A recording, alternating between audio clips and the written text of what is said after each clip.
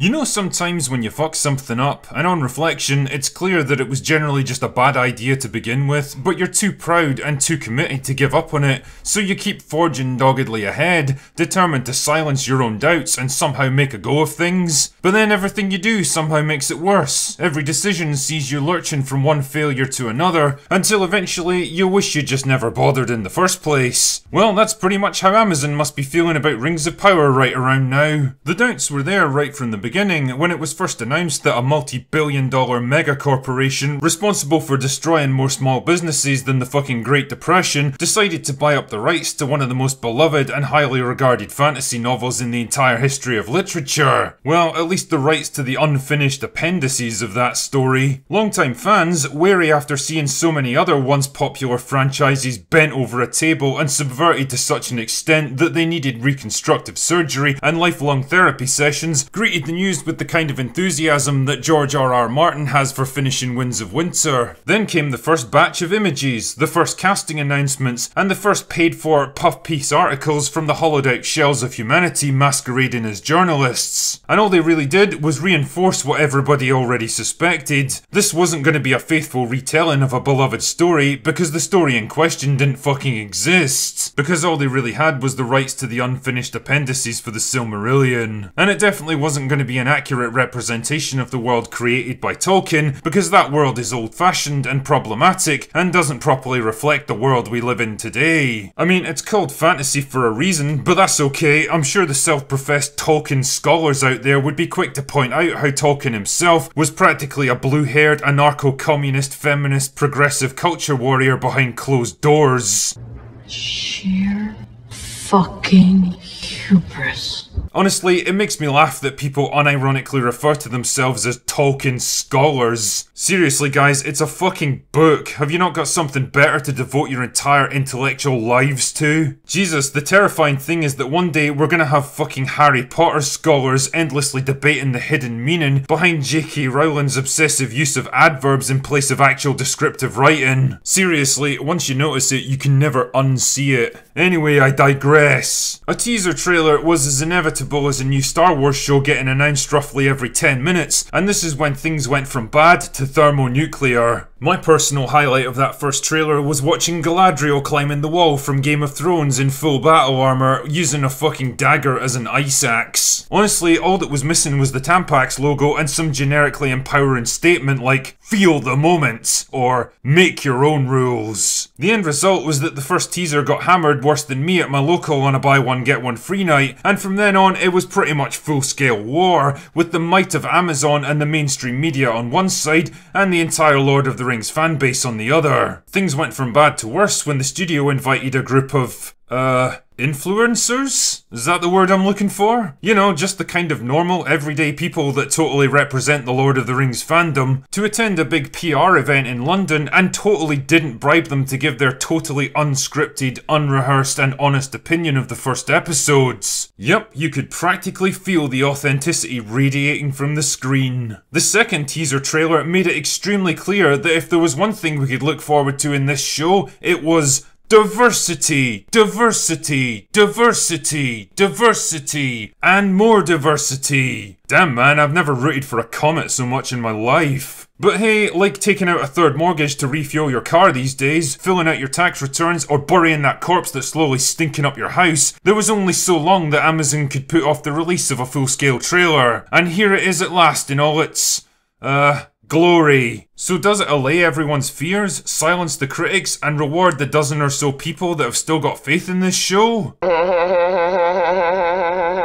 If I had to sum this trailer up, I'd say that it reminds me of that old saying about politicians being the kind of people that can talk for hours without actually saying anything. There's a lot of big lavish landscape shots showcasing what thousands of CGI artists working in sweatshop conditions can produce if they're suitably motivated. And to be fair, they do look pretty good, which is what I'd expect from a show that costs more than Brazil's national debt, and it proves that you really can polish a turd if you throw enough money at it. It also leans very heavily into the Lord of the Rings musical cues, because let's be honest, we need something to hook existing fans in. But really, the bulk of the trailer is just incomprehensible nothingness, just lots of fleeting glimpses of characters and places with no context or meaning behind them, and you can practically feel how desperate Amazon are to show you exciting stuff without really showing you anything substantial. The best I can really pull out of this is that it's trying to present the four main factions at play in Middle Earth and their various outlooks on the world at large. The story is set during the Second Age of Middle Earth, during a time of relative peace after the defeat of Morgoth, who basically made Sauron look like a little bitch in comparison. Most of the elves now believe that all is right with the world again, but not badass Galadriel, who's now a sword swinging, orc killing,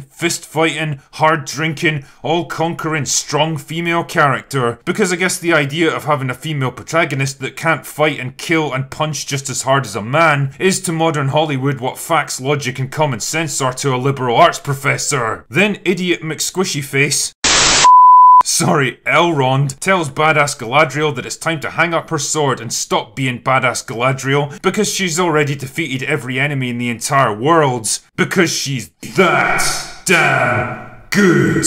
But she's like, no way, I'm badass Galadriel. And he's like, I can be badass too. And she's like, I've seen more badass stuff than you have. Because it turns out that Galadriel was at ground zero for 9-11, and now she's got a bad feeling that something even worse is on the horizon. Place your bets on which character ends up being proven right. The strong female character who can do no wrong, or idiot McSquishyface. Take that, patriarchy! There's also this gentleman, who's apparently an elf too.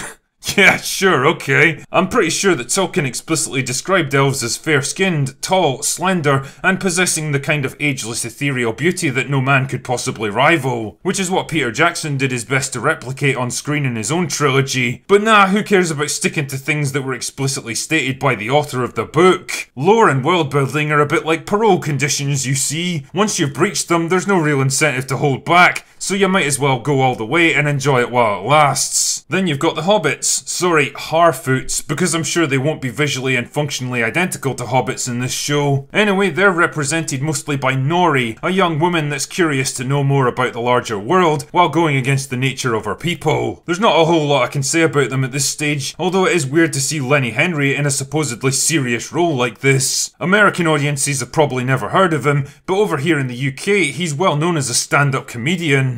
I'm sure there's some kind of hidden meaning in that. You've also got the dwarves represented by this awesome piece of photoshopping, and last of all, the men of Numenor, represented by Queen Miriel. Because, you know, of course they are. Despite the fact that leadership in Numenor could only ever pass to male heirs in the books, hence all the talk about the line of kings. But nah, whatever. We've got to meet that quota somehow, chaps. Remember, this is a totally made up fantasy world which also somehow has to reflect the world that we live in today. Fucking hubris. I'm also willing to bet that she's going to charge into battle with a mixed army composed of at least 50% female soldiers. Because if women are known for anything, it's having the size, strength, and physical endurance needed for medieval sword combats. Oh yeah, and then there's this little line right here, snuck in at the ends. The past is dead. We either move forward or we die with it. Hmm, whatever could the showrunners be trying to tell us here? Let the past die. Kill it if you have to. Nah, it's a total mystery. Speaking of mysteries, what the fuck is this supposed to be? Did fucking Neo cartwheel his way onto set that day? You know, it always makes me laugh when directors are looking for some kind of memorable action scene, and their answer is basically, what would happen if gravity wasn't a thing anymore? That being said, it does make for a banging techno remix.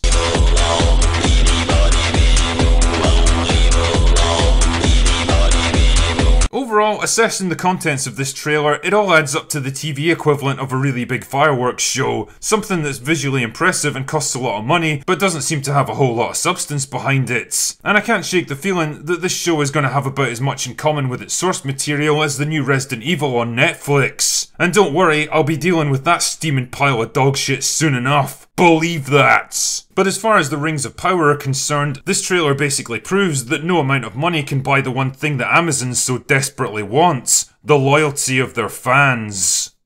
Anyway, that's all I've got for today. Go away now.